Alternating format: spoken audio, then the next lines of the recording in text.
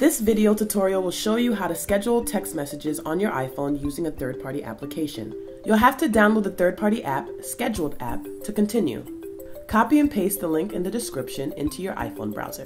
You'll be taken to the App Store. Tap Get and follow the steps to complete the download.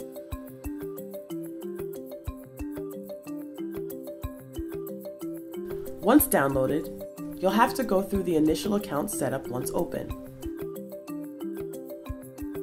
If you want texts sent automatically, choose the premium plan.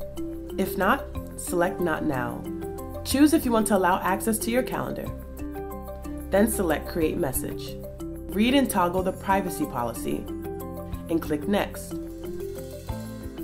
Enter your phone number, then finish the prompts to set up your profile. Now you've created a profile. On the main page, click Add New at the bottom of the screen. Select each platform you'd like to send your message through. A pop-up prompt will ask you to allow access to your contacts. Select which contacts you'd like to receive a message. You can create a group of contacts for repeat texting. Enter your text or photo, then tap Schedule Date. Select the time and date for when the message will be sent. Don't repeat will be the default setting. Tap Repeat and select your frequency. Tap Reminder if you're using the free version and don't want to auto send messages available with the premium plan.